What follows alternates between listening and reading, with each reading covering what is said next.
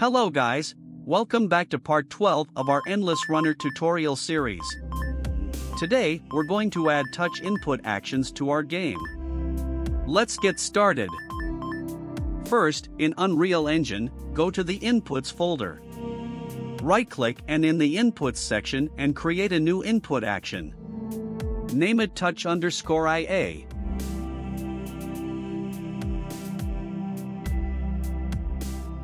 Now, open IMC underscore runner default and create a new action mapping. Select touch underscore IA in the key binding dropdown, search for touch 1 and select it. Then, save it.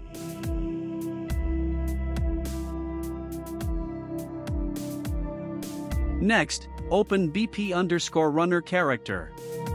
In the event graph, create a new variable called is triggered and set its type to boolean.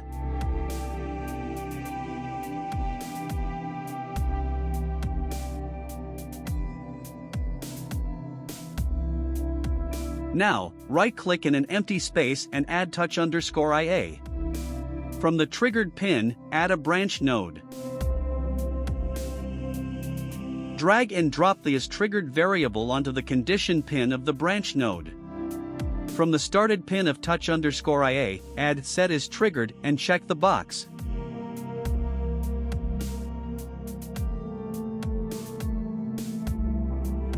Create another variable named touchStart2D with the type vector2D.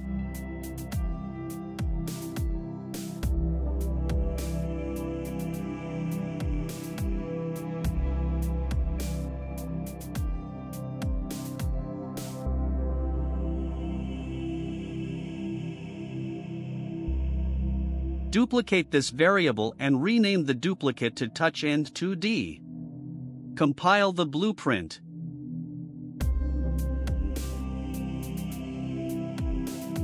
From the Set is Triggered node, add Set Touch Start 2D.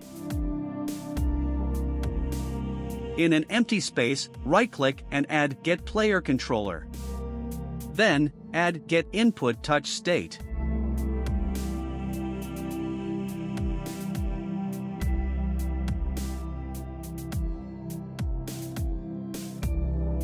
From the Location X pin, add Make Vector 2D and connect the Location Y pin to the Y pin of Make Vector 2D. Finally, connect the return value to Set Touch Start 2D.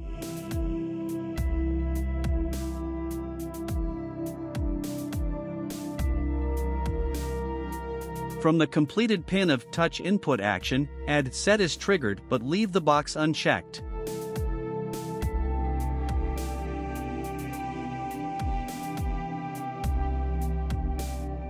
Now, add a do once node and change the pin from execution to reset by holding Alt.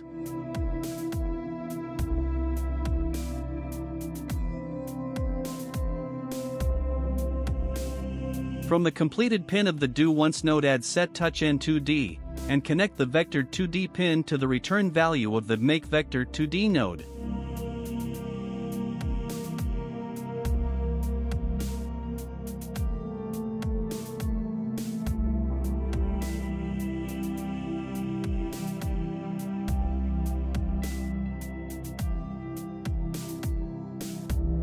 Go to the branch node connected to the triggered pin. Then, from the true pin, add another branch node.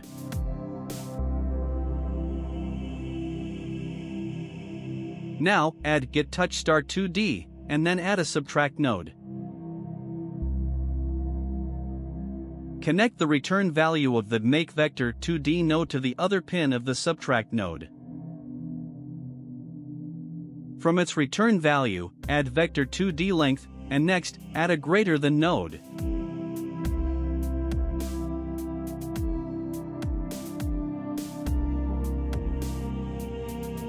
Change the second pin value to 100, and connect the boolean pin of the greater than node to the branch node we added earlier.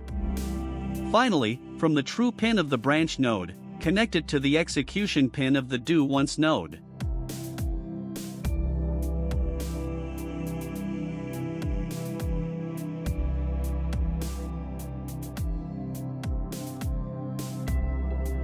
From the Set Touch End 2D, add another branch node.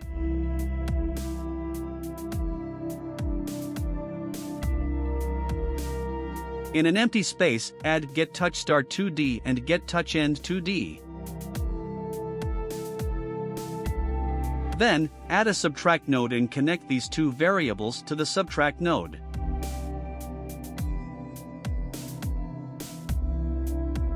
From the return value of the subtract node, add a break vector 2D node.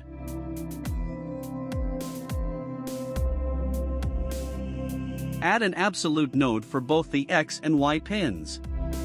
From that absolute node connected to the X pin, add a greater than node.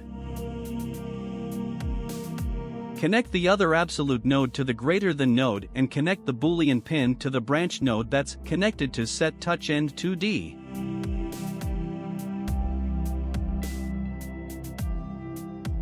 Now, from the X pin of the break vector 2D, add a greater than node. Duplicate it and connect it to the Y pin of the break vector 2D.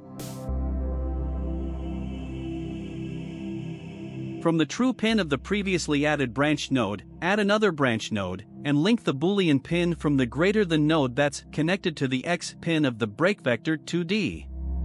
Now, duplicate the branch node and connect the execution pin to the false pin of the branch node that's connected to set touch end 2D. Connect the boolean pin of the greater than node connected to the Y pin of break vector 2D to this new branch node.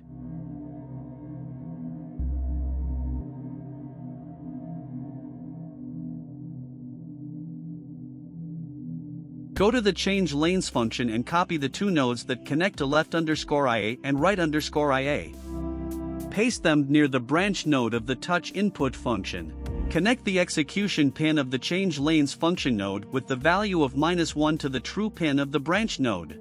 Connect the false pin to the other change lanes function node that has the value of 1. Now, from the true pin of the branch node that connects to the false pin of another branch node, add a jump node. Go to the slide function nodes, from the input execution pin of add impulse, add a custom event named slide function.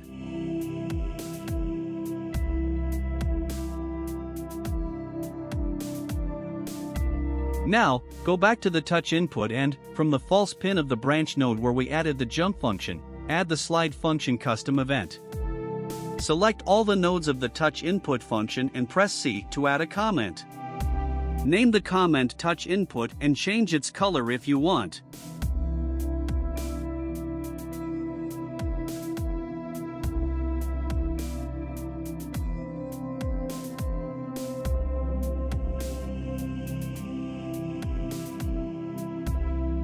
Now, open the project settings by clicking on the Edit menu in the top left corner and selecting Project Settings.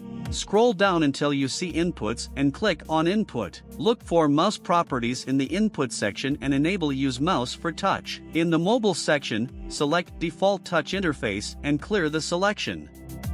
Now, go to the level and press play. You will see that the touch inputs work fine. And that's it for today's video. I hope you found this tutorial helpful. If you encounter any errors or need assistance, feel free to contact me via email or Discord. You can find the details in the description.